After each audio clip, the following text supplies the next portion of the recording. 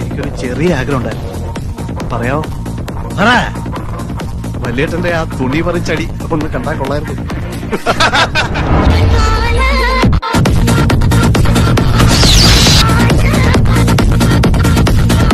തോമ. ആട് തോമ? തീപ്പെട്ടി. തീപ്പെട്ടിയില്ല. തീ പുതിയ തീപ്പൊടി പറഞ്ഞു?